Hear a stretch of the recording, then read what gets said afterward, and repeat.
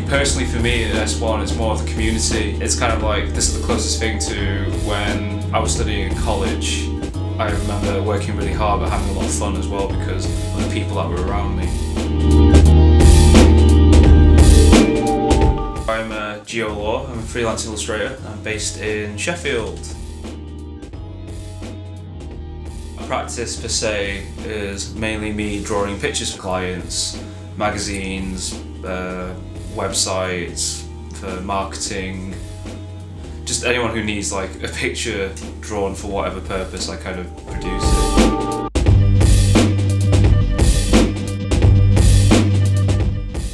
Well, with S1 Art Space, I, I think I was kind of around the scene when um, when uh, quite a few of my art student friends were kind of uh, uh, attending the parties and things like that. And at the time, the parties were kind of really well known uh, basically, when I got my studio space here, I was a commercial tenant uh, running my own clothing label uh, downstairs, but because the nature of like kind of commercial uh, spaces and the artist spaces, they're separate. So I didn't really interact with many of the artists until maybe halfway through the year where we keep passing each other in the corridor, keep talking to each other and most of them now are like really good friends of mine. So once I left my commercial tenancy, I moved upstairs uh, as an, uh, into an artist studio. I don't need a lot of space to work in, but it helps to have a nice space to work in. A place where like you can put pictures up on the wall or just kind of like if I need to do a painting or something like that, I can just kind of go go over to another desk. But in that kind of respect, I'm quite malleable. So yes, I would I'd be absolutely like, mortified if if for instance if S1 had to close down and we couldn't have a studio space.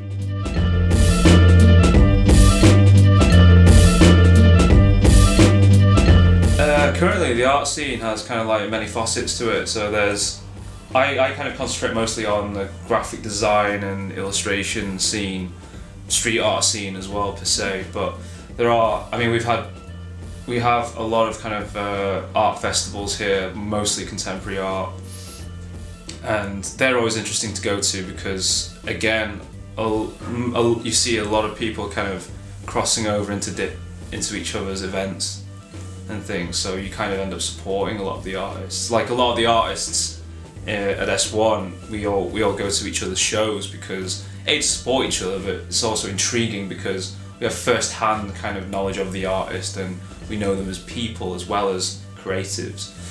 So it's it's diverse. I do feel that like um, like certain practices always kind of cross over. I've not really uh, worked alongside any of the artists that are here that are here, but I kind of get some interesting feedback from them because you know of differing differing opinions and and likewise I kind of give out my opinion on uh, their work like if it visually kind of intrigues me or or it makes me ask questions of it.